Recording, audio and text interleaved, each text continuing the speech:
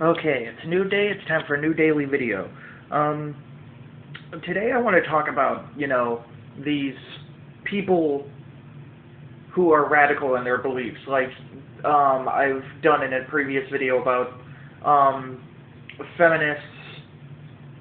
You know, that's if you, there's all kinds of radical people like um, radical or militant atheists, Christians, Muslims you know, whatever you want to call them. And then there's um,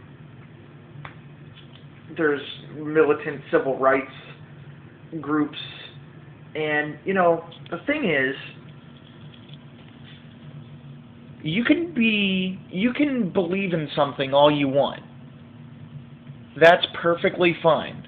But the second that you start to think that is okay for you to push your beliefs on anyone else, that's where the line is drawn. It's not okay for you to do that in any way, shape, or form. You are allowed to express yourself, but you're not allowed to push your beliefs on others.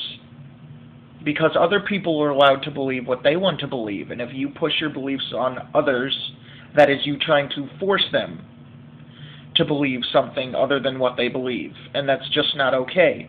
Like um um anybody who's religious like a Bible thumper and they'll tell you you go to hell for, you know, for for saying like damn or, you know, saying like damn shit, whatever, you know, it, that's ridiculous.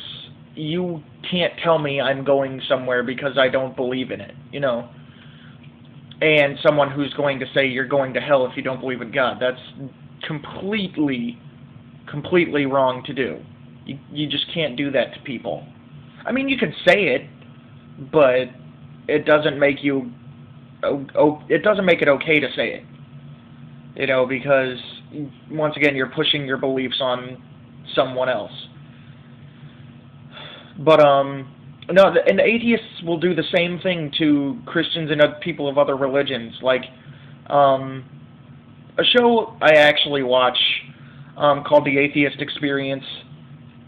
A lot of what they do is challenge other people's beliefs, and not only in an intellectual sense, like I challenge you to prove what you have to say is true, but they know, they understand by now that the Christians aren't going to you know, they're not going to have any actual proof because to the, the to any religious person, religion isn't about proof. It's about faith. And faith is the absence of evidence. You know, and regardless, the you know, the atheist experience, the people on there will just continue continue to bait them in and be like, you know, be like, oh, why don't you prove there's a God and blah blah blah, and you know, it's just, what's the point? You know, why would you do that? It seems completely ridiculous to me.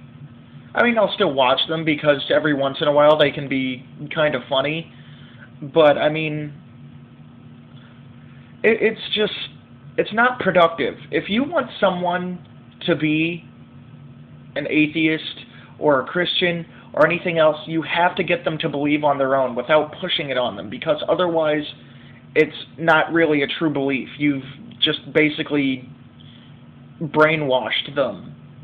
You want them to believe of their own free will because then they actually believe, you know, through rational decisions and, you know, their own intelligence, basically.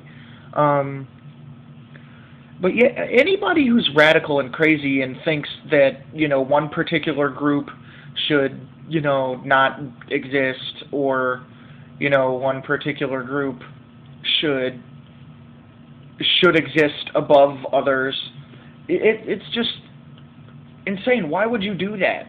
Just because you're insecure and you want to feel better than other people so you have to go out and do that you know, that's why I think people do it because they're either, you know, so delusional that they actually think that they're better or that they're really insecure and if they don't do this, they feel inferior. So, I mean, that's pretty much all I have to say. Just live your life in tolerance and acceptance of others and never try to push your beliefs on anyone else.